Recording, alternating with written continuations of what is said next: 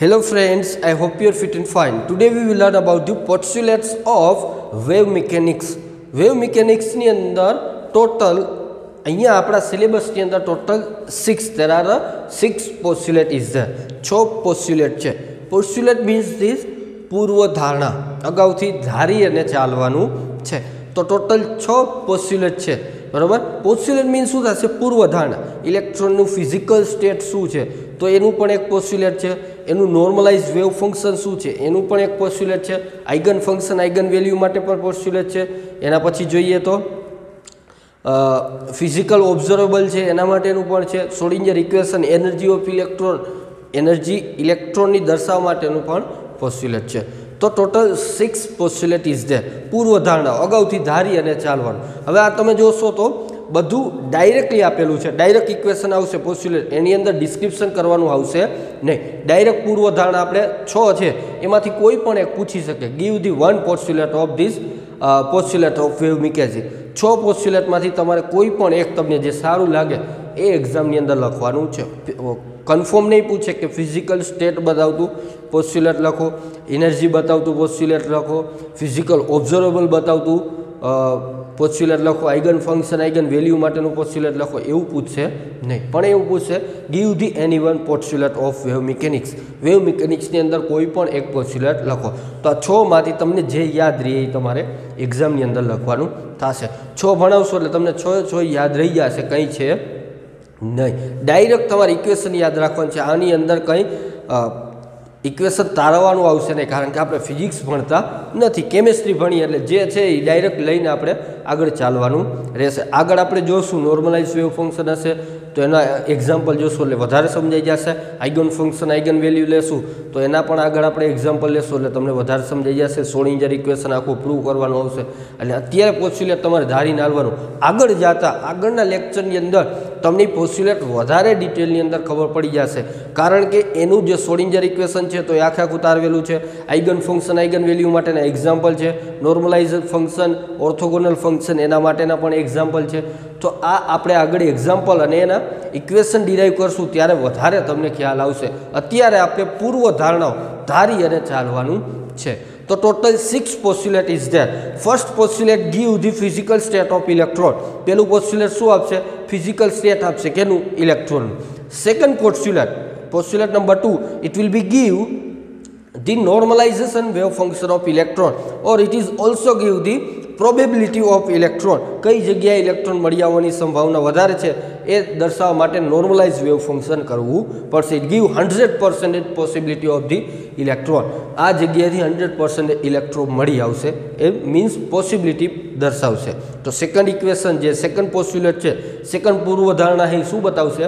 ઇલેક્ટ્રોનની પ્રોબેબિલિટી મળી આવવાની પ્રોબેબિલિટી પહેલું દેશે, શું દેશે? ફિઝિકલ સ્ટેટ સેકન્ડ દેશે પોસિબિલિટી ઓફ ઇલેક્ટ્રોન થર્ડ આપશે it third it will be give the physical observable third postulate છે એ ફિઝિકલ ઓબ્ઝર્વેબલ અલગ અલગ છે મોમેન્ટમ છે એનર્જી છે, બરાબર? વેલોસિટી છે, તો આ ફિઝિકલ ઓબ્ઝર્વેબલ દર્શાવશે. Fourth one is give eigen function અને આઇગન વેલ્યુ ચોથું આઇગન ફંક્શન અને આઇગન વેલ્યુ વેવ ફંક્શન માટે આપશે. Fifth one give the average value of operator ઓપરેટરની એવરેજ વેલ્યુ દર્શાવશે પાંચમું પોસ્યુલેટ અને છઠ્ઠું બતાવશે સોડિંજર ઇક્વેશન આ છ છ પોસ્યુલેટમાંથી તમારે ગમે તે એક યાદ રાખવાનું થશે. આગળ normalize eigen function Schrodinger equation જોશો. એટલે યાદ રાખવાની તમારે જરૂર પડશે ને ગેરંટી યાદ રહી જ જશે. કારણ કે eigen function, eigen value normalize orthogonal અને સોડિંજર આ ચાર વસ્તુ છે એ મોસ્ટ ઇમ્પોર્ટન્ટ છે. એ કરાવશું, એટલે તમને પોસ્યુલેટ કરવાની જરૂર રહેશે નહીં. કારણ કે એ ચાર તમને ઓટોમેટિક આવડી જશે, બરાબર? એટલે કંઈ જરૂર કરવાની જરૂર નથી. એમાંથી તમે કોઈ પણ એક લખી લ્યો પોસ્યુલેટ એટલે ચાલશે. તો પોસ્યુલેટ વન શું બતાવશે? Postulate one give the physical state of electron physical state બતાવશે કેનું? ઇલેક્ટ્રોનનું તો first postulate give the physical state of electron ઇલેક્ટ્રોનનું physical state બતાવશે. કઈ રીતે? એક ટાઈમ ડિપેન્ડન્ટ ફિઝિકલ સ્ટેટ દેશું અને એક ટાઈમ ઇનડિપેન્ડન્ટ શું દેશું આપણે? ફિઝિકલ સ્ટેટ દેતું. તો ફર્સ્ટ આપણે જોઈએ. For time dependent for time dependent postulate. Psi means any electron can describe by psi psi means physical state કઈ જગ્યાએ ઇલેક્ટ્રોન છે એની એક્ઝેક્ટ પોઝિશન તો શું આપશે? It give function of vector r into t r means direction બધા, બરાબર? Direction કઈ કઈ જગ્યાએ? એનું પોઝિશન છે ઇલેક્ટ્રોન એ બતાવશે. ટી શું બતાવશે? ટાઈમ બતાવશે. કયા ટાઈમે ઇલેક્ટ્રોન કઈ જગ્યાએ છે? એનું ફિઝિકલ સ્ટેટ શું છે? થ્રી ડીની અંદર, બરાબર? ત્રણ ડાયરેક્શનની અંદર. So here r vector r it is give the direction of electron ત્રણ ડિરેક્શન છે એક્સ વાય ઝેડ તો r dash r vector mean શું થશે? F is equal to x y z into Tina t s it is vector r means x y અને z direction બતાવશે કઈ જગ્યાએ? X ડિરેક્શનમાં કેટલું સ્થાન છે? વાયમાં કેટલું છે? ઝેડમાં કેટલું છે? કઈ જગ્યાએ? થ્રી ડીની અંદર એક્સ વાય અને ઝેડ ત્રણેય મેળવશો એટલે તમને શું મળી જશે? ઇલેક્ટ્રોનની એક્ઝેક્ટ પોઝિશન મળી જશે. ફિઝિકલ સ્ટેટ મળી જશે. કેટલો ઇલેક્ટ્રોનની આખા આખો વિસ્તાર છે? ફિઝિકલ સ્ટેટનો બરાબર? તો એ તમને શું બતાવશે? ફિઝિકલ સ્ટેટ બતાવશે. કોણ બતાવશે? કોણ બતાવશે? ફિઝિકલ સ્ટેટ એક્સ વાય અને z into t t means time કયા ટાઈમે કઈ જગ્યાએ ઇલેક્ટ્રોન છે? એટલે ટાઈમ ડિપેન્ડન્ટ ફિઝિકલ સ્ટેટ છે. Here we take time t તો અહીંયા એક્સ વાય ઝેડ ડિરેક્શન છે અને ટી મીન્સ ટાઈમ છે. આ કાર્ટિઝિયન ફોર્મ છે. હવે પોલાર ફોર્મ લખવું હોય તો પોલાર ફોર્મ પણ લખી શકો. પોલાર ફોર્મમાં આપણે લઈ લઈએ ગામા. અહીંયા વાય તરીકે લઈ લઈએ. ગામા અહીં theta and phi and t so this is the polar form of this physical state આ કાર્ટિશિયન ફોર્મ છે, આ પોલાર ફોર્મ છે. So, this is the time dependent time dependent physical state હવે ટાઈમ ઇન્ડિપેન્ડન્ટ કરવું હોય તો તો અહીંયા આપણે લખી for time independent state physical state time independent time મારે કંઈ લેવા દેવા હોય તો શું થશે?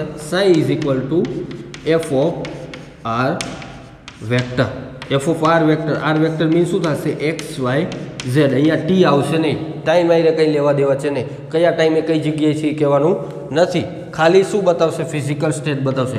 હવે આ કાર્ટિઝિયન ફોર્મ છે. પોલાર ફોર્મમાં લખી તો ગામમાં theta and phi this is the Cartesian form of the physical state તો આ બંને ઇક્વેશન એક છે ટાઈમ ડિપેન્ડન્ટ અને એક છે time independent physical state of the electron ઇલેક્ટ્રોનનું physical state આપેલું ટાઈમ ડિપેન્ડન્ટ ઇક્વેશન છે અને આ ટાઈમ ઇન્ડિપેન્ડન્ટ ઇક્વેશન છે. સાઈ શું છે? વેવ ફંક્શન છે. આ પણ શું છે? વેવ ફંક્શન છે. તો વેવ ફંક્શન આની અંદર શું છે? ઇલેક્ટ્રોનનું ફિઝિકલ સ્ટેટ બતાવશે. એક્સ ડિરેક્શનમાં કેટલું સ્થાન છે? વાય ડિરેક્શનમાં કેટલું સ્થાન છે? ઝેડ ડિરેક્શનમાં કેટલું સ્થાન છે? અને ક્યારે? તો ટાઈમ ટી એ. બરાબર? કયા ટાઈમે? કઈ જગ્યાએ પોઝિશન છે? ટાઈમ ડિપેન્ડન્ટ છે. અને આ કયું છે? Time independent. કારણ કે અહીંયા આપણે ટી લખેલું નથી. હવે આ કઈ જગ્યાએ થાય એવું એ આપણે દર્શાવવાની જરૂર નથી. ખાલી તમારે આટલું યાદ રાખવાનું પૂર્વ ધારણા છે. એટલે અહીંયા જો આપણે ડિસ્ક્રિપ્શન કરવા જશું વેવ મિકેનિક્સ અલગ રહી જશે એટલે તમારે શું? આ ડાયરેક્ટ માની અને ચાલવાનું રહેશે. પૂર્વ ધારણા છે, બરાબર? પોસ્ચ્યુલેટ છે એટલે આટલું યાદ રાખવાનું થશે. બરાબર? આગળ જે આપણે ઇક્વેશન કરશું Schrodinger equation eigen function normalise એની અંદર વધારે તમને ડિટેલની અંદર ખબર પડી જશે. એટલે પોસ્ચ્યુલેટ આ જ રીતના હશે. અહીંયા આપણે કેમિસ્ટ્રી ભણી ફિઝિક્સ ભણતા નથી. એટલા માટે આની સાબિતી ક્યાંય આવશે? નહીં. So this is the all about the postulate number one So friends, postulate number 2 give the probability of electron. Electron મળી આવવાની સંભાવના કઈ જગ્યાએ વધારે છે? તો એ બતાવતું પોસ્યુલેટ કયું છે? પોસ્યુલેટ નંબર ટુ ઇલેક્ટ્રોન મળી આવવાની સંભાવના કઈ જગ્યાએ? હંડ્રેડ પર્સન્ટેજ છે. કઈ જગ્યાએ વધારે છે? તો એ પોસ્યુ એ પોસ્યુલેટ કયું બતાવશે? Postulate number two postulate number two give the probability of electron electron કઈ જગ્યાએ મળી આવવાની સંભાવના સૌથી વધારે છે એ કોણ બતાવશે? પોસ્યુલેટ નંબર ટુ તો આપણે અમુક કઈ કે અમુક પર્સનની નેઠો ન હોય કઈ જગ્યાએથી મળી આવશે? અમુક પર્સન આપણે પૂછી કે આજે આ ભાઈ ક્યાં મળી આવશે? તો તમે કહો કન્ફર્મ હોય તો કહો કે આ ભાઈ આ જગ્યાએ જ મળશે હંડ્રેડ પર્સન્ટેજ મળશે. અમુક અમુક એવું કહેશો તમે પૂછશે કે એ ભાઈ નેઠો હોય નહીં. તો પોસિબિલિટી કેવી હોય? અમુક જગ્યાએ એમ કહેશો, પચાસ ટકા અહીંયા હશે, પચાસ ટકા નહીં હોય. બરાબર? તો એ પ્રોબેબિલિટી થઈ. બરાબર? સંભાવના થઈ. કેટલી સંભાવના છે એ જગ્યાએથી મળી આવવાની? એ ભાઈ એ જગ્યાએ બેઠો હશે, એની સંભાવના કેટલી? અમુક કહેશે, પચાસ ટકા, કાં તો હશે ને કાં તો નહીં હોય. તો એ બે જ હોય. વધારે તો હોય નહીં. તો ઇલેક્ટ્રોન કઈ જગ્યાએથી, કઈ પોઝિશનેથી મળી આવવાની સંભાવના છે? તો એ સંભાવના બતાવવા માટે આપણે શું કરવું જોઈશે વેવ ફંક્શનને નોર્મલાઇઝ કરવું જોઈશે કેવું કરવું જોઈશે નોર્મલાઇઝ નોર્મલાઇઝ વેવ ફંક્શન કરશો. It means that it give hundred percentage probability of electron એ જગ્યાએથી ઇલેક્ટ્રોન મળી આવવાની સંભાવના કેવી થઈ જશે? હંડ્રેડ પર્સન્ટેજ થઈ જશે. તો કે એ જગ્યાએ તમે જાશો એટલે ઇલેક્ટ્રોન મળશે. તો ઇલેક્ટ્રોન મળી આવવાની સંભાવના વધારવી હોય તો તમારે શું કરવું પડે?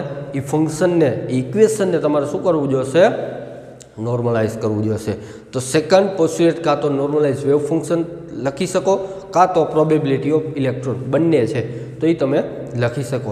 તો કઈ રીતે? જોઈએ આપણે postulate number two postulate number two give the probability probability of electron postulate number two give the probability of electron electron મળી આવવાની સંભાવના. તો આપણે એક્સ ડિરેક્શનનું લઈ. માનો કે psi x t t means time x means into the x direction x ડિરેક્શનની અંદર ઇલેક્ટ્રોનની મળી આવવાની સંભાવના કેટલી છે? એ શું બતાવશે? Psi x t t means time આ ટાઈમે એક્સ ડિરેક્શનની અંદર સંભાવના કેટલી છે? તો સાઈ એક્સ ટી બરાબર? નેક્સ્ટ આપણે જોઈએ. એનું ડેરિવેશન લઈએ. Psi sorry del psi t with respect to del x તો અહીંયા શું કર્યું આપણે? ડેરિવેટિવ લીધું. કેનું ડેરિવેટિવ સાઈનું કેની સાપેક્ષમાં? એક્સની સાપેક્ષમાં. So here del psi x t with respect to del x it is known as a derivative of psi with respect to x એક્સની સાપેક્ષમાં આપણે શું કર્યું? વિકલન કર્યું. કેનું કર્યું? સાઈનું કર્યું. તો ફર્સ્ટ ટાઈમ છે. સેકન્ડ ટાઈમ હવે આપણે કરવું હોય ડેરિવેટિવ તો આનું શું કરવું પડે? Psi square psi x upon del x square this is the first time derivation of this term and this is the second time derivative of this term. આ સેકન્ડ ટાઈમ છે, આ ફર્સ્ટ ટાઈમ છે. આ શું છે? આ first time છે અને આ શું છે? સેકન્ડ ટાઈમ ડેરિવેટિવ છે. કેનું છે? સાઈ એક્સ ટીનું ફર્સ્ટ ટાઈમ ડેરિવેશન લ્યો તો શું થશે? Del x sorry del psi x t with respect to del x here del square psi x t del x square આ સેકન્ડ ટાઈમ છે. આ ફર્સ્ટ ટાઈમ ડેરિવેટિવ લીધેલું છે. આ ફર્સ્ટ ટાઈમ ડેરિવેટિવ આ આ શું છે? સેકન્ડ ટાઈમ ડેરિવેટિવ લીધેલું છે. તો આ શું બતાવશે? ડેરિવેટિવ બતાવશે. હવે ડેરિવેટિવનો યુઝ કઈ કઈ જગ્યાએ કરવાનો? This derivative it is useful for the normalize equation કરવા માટે આનો યુઝ થશે. કઈ રીતે જો? Psi x t normalize equation is equal to so આનું શું લીધું આપણે? સાઈ એક્સ ટી જે ફંક્શન છે એનું હવે આપણે શું લઈએ? નોર્મલાઇઝ ફંક્શન લઈએ. તો નોર્મલાઇઝ ફંક્શન લેવા માટે આપણે શું કરવું જોશે? એનું ઇન્ટિગ્રેશન કરવું જોશે. ક્યાંથી ક્યાં સુધી ઇન્ટિગ્રેશન કરશું? તો કે minus infinite to minus infinite to plus infinite integration કેનું integration psi into x t અને એનું multiplication with complex conjugation form complex conjugation form means psi star x t આ છે વેવ ફંક્શન છે. અહીંયા એનું કોમ્પ્લેક્સ કોન્જ્યુગેશન ફોર્મ છે? બંનેનું multiplication એનું ઇન્ટિગ્રેશન ક્યાંથી ક્યાં સુધી? Minus ઇન્ફાઇનાઇટથી plus infinite with respect to del x is equal to give one આનું તમે ઇન્ટિગ્રેશન લેશો ક્યાંથી ક્યાં સુધી minus ઇન્ફાઇનાઇટથી plus infinite? With respect to del x, it will be give 1 it means that it give 100 percentage probability of electron. આ wave function છે. એ hundred percentage ક્યારે પ્રોબેબિલિટી બતાવશે? તો કે એનું નોર્મલાઇઝ વેવ ફંક્શન લેવું જોશે. નોર્મલાઇઝ વેવ ફંક્શન લેવા માટે તમારે શું કરવું જોશે? આ જે ફંક્શન છે, એનો કોમ્પ્લેક્સ કોન્જ્યુગેશન ફોર્મ મલ્ટીપ્લાય કરવો જોશે, એનું ઇન્ટિગ્રેશન લેવું જોશે માઇનસ ઇન્ફાઇનાઇટથી પ્લસ ઇન્ફાઇનાઇટ ઇન્ટિગ્રેશન કરશો with respect to del x બરાબર? લિમિટ શું છે? માઇનસ ઇન્ફાઇનાઇટ નીચે પણ કંઈ નક્કી નથી, ઉપર પણ કંઈ નક્કી નથી. લિમિટ શું છે? માઇનસ ઇન્ફાઇનાઇટથી પ્લસ ઇન્ફાઇનાઇટ એ લિમિટ છે. અને એક્સ ડિરેક્શનની અંદર ઓનલી ઓન વન ડિરેક્શન અહીંયા થ્રી છે. નહીં એક્સ ડિરેક્શનની અંદર જ પ્રોબેબિલિટી આપણે ચેક કરવાની છે. તો એક્સ ડિરેક્શનની અંદર પ્રોબેબિલિટી ચેક કરવી હોય હંડ્રેડ પર્સન્ટેજ જોતી હોય, તો એનું નોર્મલાઇઝ વેવ ફંક્શન લેવું જોશે. નોર્મલાઇઝ વેવ ફંક્શન કઈ રીતે મળશે? તો કે એનું કોમ્પ્લેક્સ કોન્જ્યુગેશન ફોર્મ મલ્ટીપ્લાય કરો. એનું શું કરો? ઇન્ટિગ્રેશન કરો માઇનસ ઇન્ફાઇનાઇટથી પ્લસ ઇન્ફાઇનાઇટ લિમિટ મૂકો અને કેની સાપેક્ષમાં ઇન્ટિગ્રેશન કરો? With respect to del x it will be give one તો વન મીન્સ શું થશે? It means that hundred percentage probability of electron એ જગ્યાએ હંડ્રેડ પર્સન્ટેજ પ્રોબેબિલિટી હશે. જો તમે એનું નોર્મલાઇઝ ઇક્વેશન મેળવશો, તો હજી તમને અમુક અમુકને એવું થશે કે એમાં કંઈ ખબર પડી નહીં. ન ખબર પડી હોય તો કંઈ ટેન્શન લેવાની જરૂર નથી. હું જ્યારે નોર્મલાઇઝ વેવ ફંક્શન લઈશ, ત્યારે હંડ્રેડ પર્સન્ટેજ તમને સમજાઈ જશે ગેરંટી છે. બરાબર? એના એક્ઝામ્પલ પણ જોશો એટલે તમને વધારે ખબર પડી જશે કે નોર્મલાઇઝ વેવ ફંક્શન શું છે? અત્યારે તમારે ખાલી કરવાનું કેટલું? આ બંને ઇક્વેશન લખવાના પોસ્યુલેટ નંબર શું બતાવે તો કે પ્રોબેબિલિટી ઓફ ઇલેક્ટ્રોન ઇલેક્ટ્રોન મળી આવવાની સંભાવના. સંભાવના હંડ્રેડ પર્સન્ટેજ જોતી હોય તો એનું નોર્મલાઇઝ વેવ ફંક્શન મેળવવું જોશે. નોર્મલાઇઝ વેવ ફંક્શન મેળવવા માટે ઇન્ટિગ્રેશન બરાબર ઇન્ટિગ્રેશન માઇનસ ઇન્ફાઇનાઇટથી પ્લસ ઇન્ફાઇનાઇટ જો સાઈ હોય તો એનો કોમ્પ્લેક્સ કોન્જ્યુગેશન ફોર્મ મલ્ટીપ્લાય કરવાનો with respect to del x કરવાનું અને વન કરવાનો. અહીંયા વાય હોય તો with with respect to y અહીંયા ઝેડ હોય તો વિથ રિસ્પેક્ટ ટુ ઝેડ કેવી પણ ડિરેક્શન હોય. એક્સ ડિરેક્શન હોય તો એક્સની સાપેક્ષમાં કરવાનું.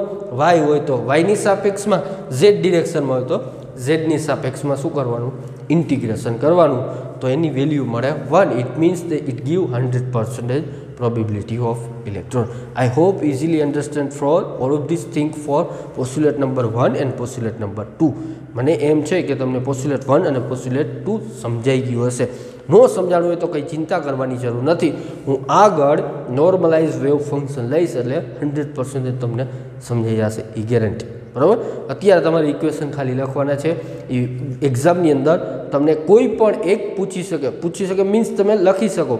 Give any one postulate for the wave mechanic. તો એમાંથી તમને જે આવડે એ તમારે લખવાનું થશે.